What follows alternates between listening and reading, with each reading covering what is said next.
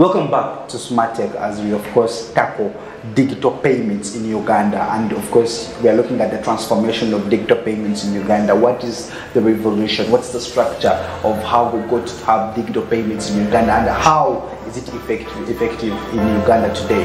Now, uh, of course, I'm still with Peter Senyonjo, the sales operation manager of PesaPal, and I believe he's giving us deeper insights on how we can use such, you know, a, a system here in Uganda. Mm. Peter, this, this is just a very, very general question. Mm. I mean, before we had digital payments in Uganda, mm. what was the financial structure looking like?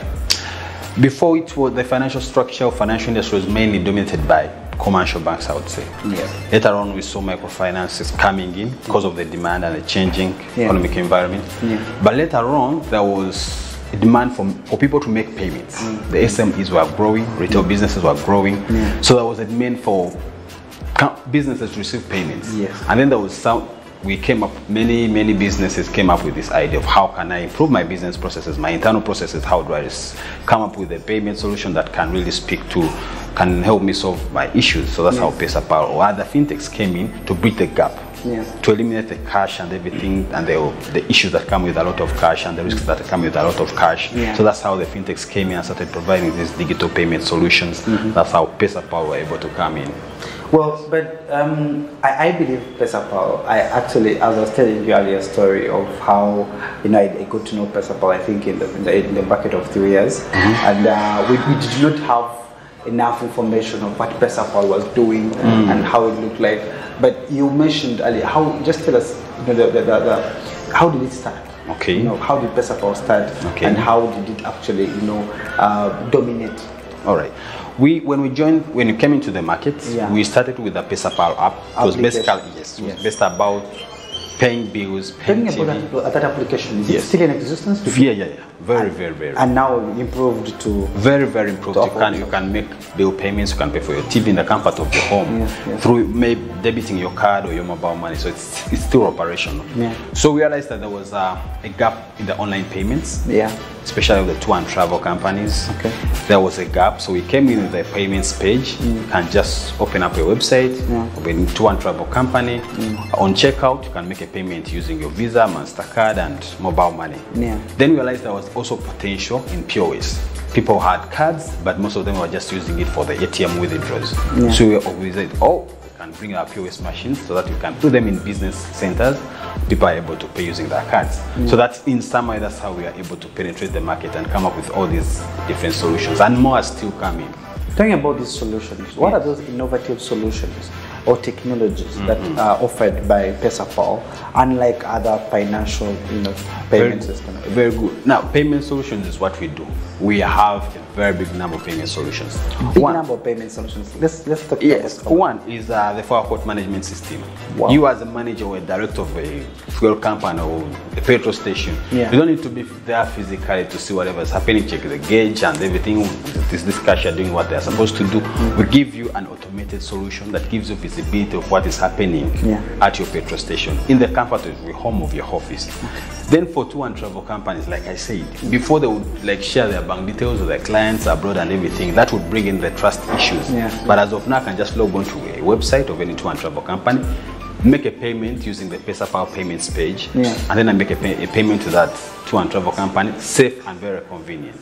Then the PDQ machines that are 4G enabled, very fast and very reliable. We penetrated the market with those machines. They are everywhere. A customer is able to walk in with their Visa or MasterCard, swipe on the machine and make a payment. Mm. Apart from cards, they can also use their mobile money, again on the PDQ machine.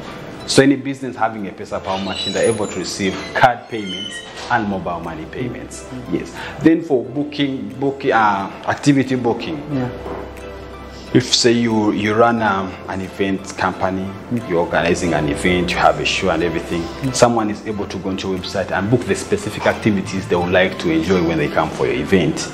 If you if you do organize, uh, if maybe if you do organize uh, team building activities, I'm able to log on to your website, pick out whatever activity I would like to enjoy when I when I when I come for your services. Yeah. Then for hotels, we have uh, reserve pot. I'm seated somewhere in Europe, Can check out your hotel, see the rooms that are available, and select the room I want, and actually make payments. in the comfort of my home, wherever I am in the world. So we have so many products and they speak to exactly what our customers need. Now- those are some of the few. Peter, there could be quite a number of um, challenges that can come out with using, you know, uh, digital payment systems. And one of the challenges I think I have noticed could be fraud. Now, how has PesaPal been able to uh, mitigate such challenges? How have you, what kind of solutions do you have for issues like fraud, issues like uh, misuse of customer data, you know, uh, things like that. And I, I, I- I believe, of course, there is a law that definitely is protecting you, but then what solutions have you come up for such challenges? Yeah. Very, very good question. You know, these kind of payment platforms, you need to have a secure platform Yeah. that can that can really protect the, the consumers that are using the service. Now, internally, we have a team of uh, fraud, fraud prevention experts Yeah. that are always online, sieving through the transactions that we receive as PesaPal. And apart from that, we use high, very high-end data encryption technologies to sieve out and protect the consumer, the customer's information that is being run on our services. So we protect all the financial information that you feed into our system. Very high-end, and they, they've really done a very good job for us. We've not been hit by any fraud or anything like that. Really? Yes. And then for BOU, BOU is always there to do the oversight. Yeah. Once you have that license, there are guidelines that you're supposed to follow. To follow. Yes, and before you actually, you can't just get that line just overnight. So those are some of the things that have really kept us secure and providing a very convenient service for our customers. Perfect. That's really good. Just I want to give you like after, uh, just a, a minute to tell our viewers Yes. your services of, as PesaPal, so All they can clearly understand them, and then we shall get back to our topic. All right, PesaPal, like I said, is a leading service payment service provider. We do provide online and in-store services. For online, we give we, we, we enable customers to make payments in the comfort of wherever they are. Then for on-site, the customer walks into a shop, walks into a petrol station, a bar, a hotel, or a restaurant, and they're able to swipe using their bank cards and make a payment. On top of that, they're also able to use their mobile money or their mobile wallet to make payment to the businesses. So for someone to enjoy our services, we do onboard businesses that are registered with URSB, of course. Setup is same day. You can bring your company documents to our PesaPal offices, and in one day you can walk out with your machine ready for service. Perfect. Now, Peter, we understand that definitely PesaPal is also collaborating and working with mm. so many institutions like you had mentioned earlier. But we just want to understand what is that comprehensive ecosystem that PesaPal is rotated with? Yes, we, we've, we've signed up uh, partnership agreements with uh, financial institutions. Yes. Remember, financial institutions, say banks, they are the issuers. We are the acquirers. Yeah. So it's, there's a relationship between us There and has them. to be a relationship. Of course, yes. And then the telecos. Yeah. And actually, in this modern age, the strategy should be collaborative competition. Yeah. I don't need to kick you out of business. I just need to work with you so that we can grow together. Yeah. So we've signed up with uh, commercial banks and the telecos so that we can improve the service that we offer. Because these are our customers. And the ultimate objective is financial inclusion. Thanks. That's the ultimate objective. Yes. Because at the end of the day, we want to enhance convenience Exactly. for both businesses and also consumers at the same time. Exactly. So, um, are there platforms, e-commerce platforms that you have been involved in, in as well? And then, is it possible for international payments to be done? Like, if someone is in Germany or something, PesaPal, what's the reach internationally for PesaPal? What's the scope internationally? I also understand and have noticed that, of course, you have mega branches in other countries in, uh, around East Africa, Tanzania, Kenya, and um, where are the headquarters, by the way? Are they, are they Nairobi. Nairobi. Yes. That's where the headquarters are. Yeah. Well, that's why that explains why M-Pesa is very fast in, in a PesaPal. But yes, what, what is that international kind of Reach. Yeah, that reach. Very good. Now, you see, if I give you a payments page from Pesa PesaPal, say you were, you're a tour operator here in UG, you can send it to anyone across the world as long as they have a Visa card or MasterCard or American Express. They're able to make a payment from wherever they are, they are in the world. So our reach is unlimited as long as the customer has that specific card that we accept on our platforms. So you are free to transact from anywhere. Explain the card, that specific card. Yes. specific card that is acceptable. All right. So as of now, we accept Visa, Mastercard, and American Express on our online platforms. As of now, yes. But we are we are we are working out a solution to bring on more more more schemes on our platform. Well, um, basically, Peter, we understand uh, we have uh, organizations or businesses that have not yet taken up or adapted to this kind of digital payment systems. Uh, what kind of strategy or what kind of advice? Can I call it advice? I don't think advice would be. But, but I, I want you to speak to them. Those that haven't adapted to this kind of you know financial inclusion mm. because it's important that they adapt, mm. right? It's important that they start using such quick and effective systems or means of payment. Mm. But why is that they're not using? Uh, I want us to, I want to tell us as a, or to the viewers and tell them mm. why are some organizations reluctant mm-hmm. or businesses reluctant to use such online payment systems? What is the issue? Uh, when you are in the market, there mm. you're meeting so many, you're meeting so many clients, and I'm sure each client has their own perspective. Yes, So yes, yes.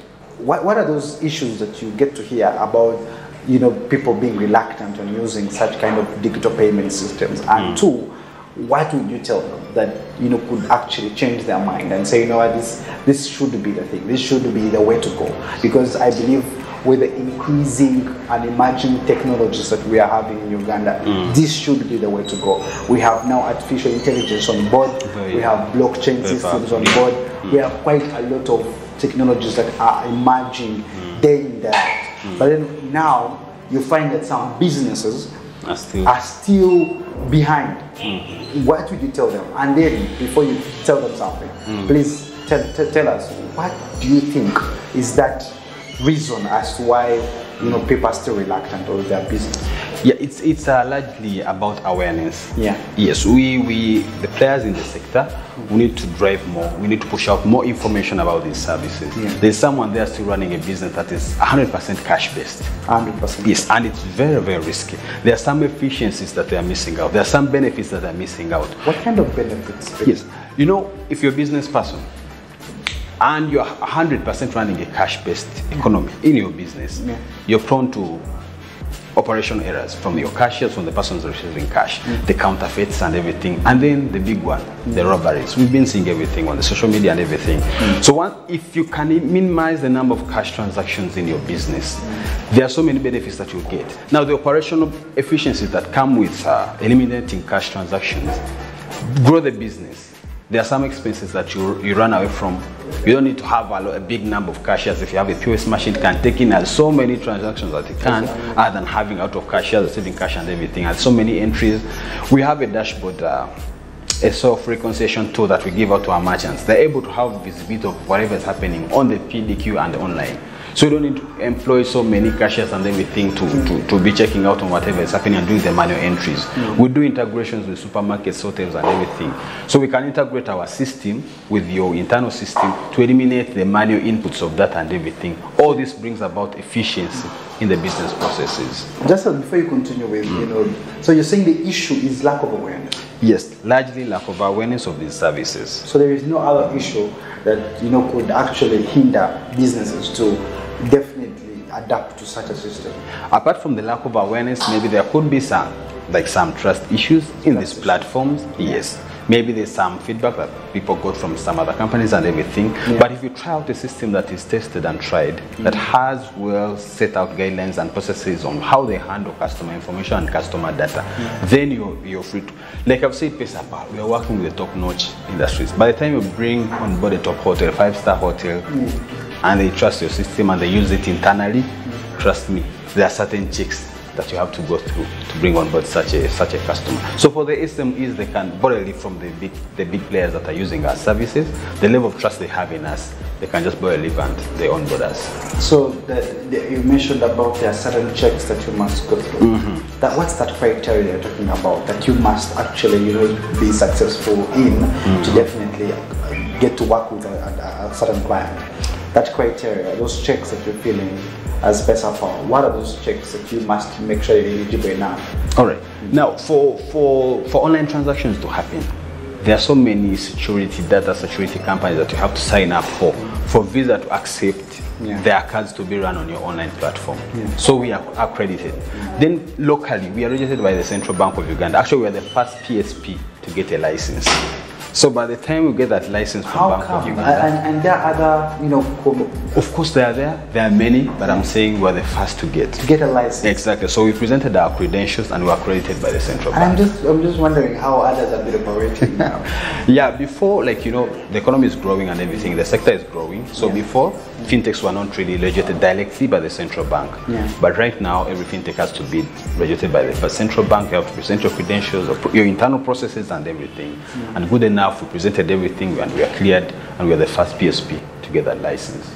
Perfect. What's the future of fintech in Uganda, The, the future is bright. Given the numbers, the numbers are growing and they speak a lot about what is yet to happen in the future. Mm. There is a lot of people have embraced mobile payments, digital payments. Internet penetration has grown, mobile, mobile money penetration has grown also, and then connectivity is improving. The telcos are working so hard to improve on connectivity. So even the areas that I've mentioned where you have some internet issues and everything, they are working very hard to push because they know this is where the business is.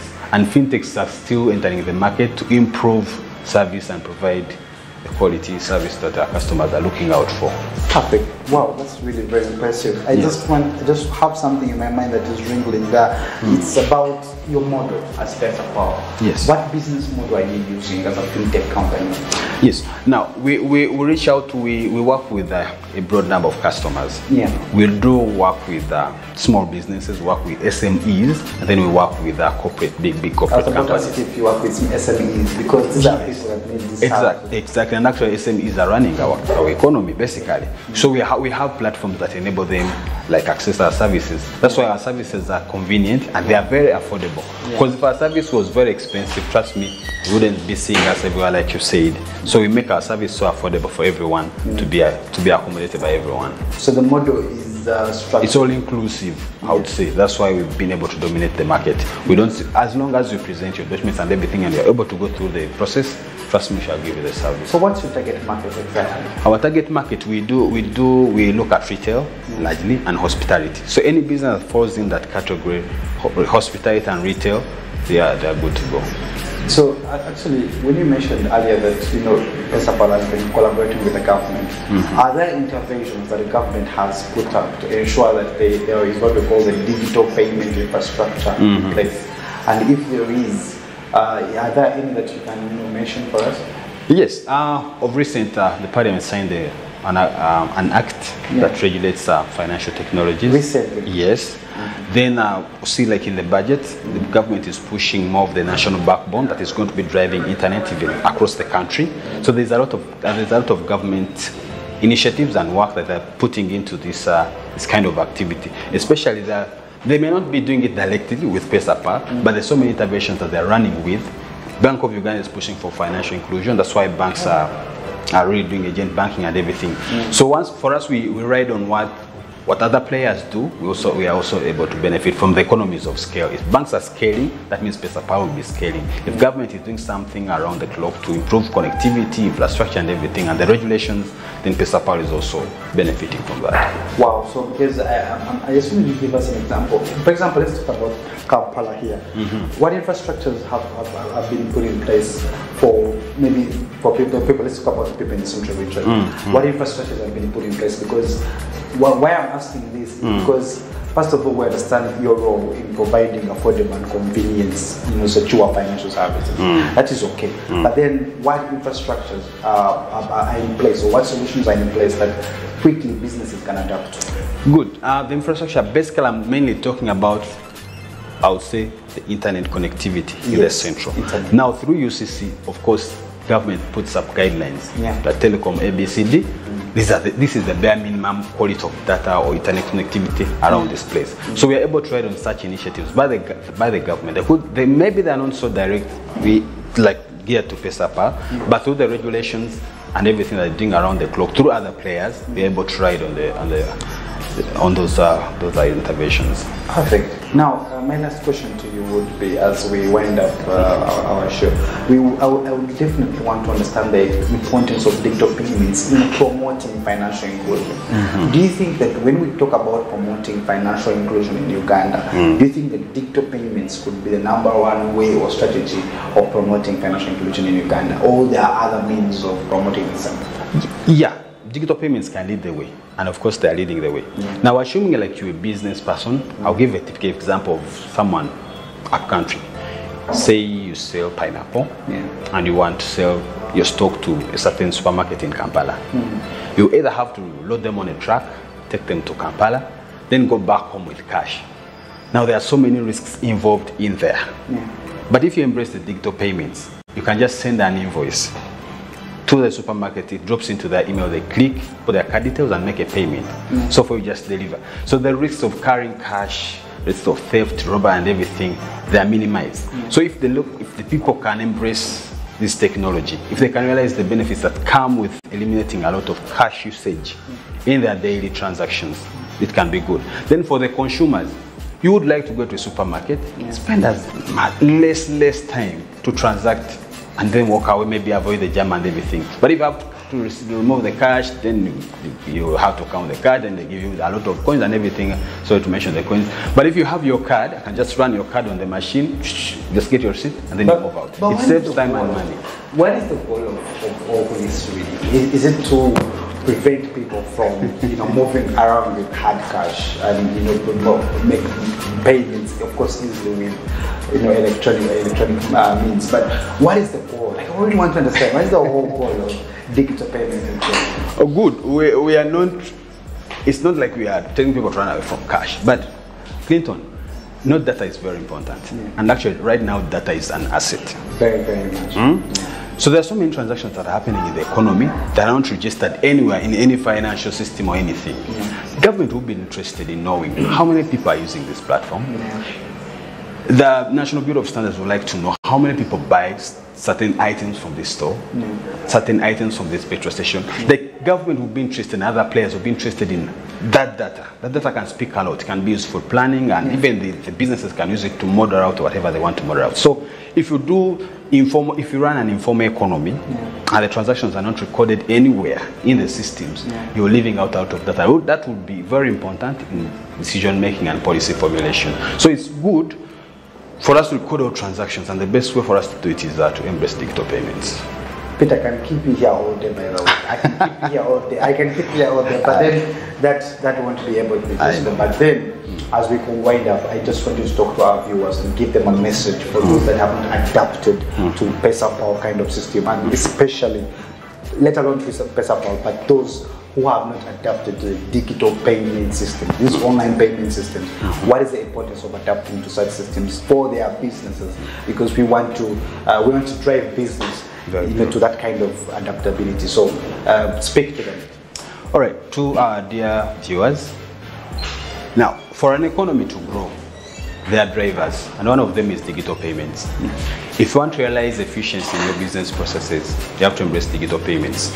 If you want to enjoy the economies of scale, I'll give an example. Someone who comes to a supermarket or a bar and they want to make a purchase, they are limited to what their card speaks. If I have 10k, I can only spend as much as that 10k speaks. But if I have a card, assuming it's a credit card, I have even a lot of money to spend that actually is not on my account. If I have a debit card, I have access to my to the funds on my account. Yeah. So if you embrace the digital payments, there's a way they drive consumption at an economic level and at a business level. So for any business that is looking out to grow their business, to improve their internal processes, to achieve that level of efficiency that will move their business to the next level, it's high time they embrace the digital payments. Thank you so much, Peter. Welcome. Great for our viewers. Thank you so much for being a part of the Smart Tech Show. And for this week's episode, definitely we have kept you in your chairs, uh, listening to how digital transformation in terms of online payment systems and online payment uh, kind of you know systems that can actually help us to upscale our businesses and make it even more efficient for your business. Catch up uh, with this, of course, with Peter, who is definitely giving us more insights on how PesaPal, one of the organizations in Uganda that is already implementing those digital financial inclusion systems here in Uganda, and definitely they are operating in other countries as well. So they are eligible enough for your business. Catch them live on their websites and also social media handles. But apart from that, we as Smart 24 TV, of course, catch up, catch us up live on every Friday as we bring you the Smart Tech Show, which of course gives you the latest advancements in technology, and we have so much more. Watch out. Just stay connected, stay smart. Bye.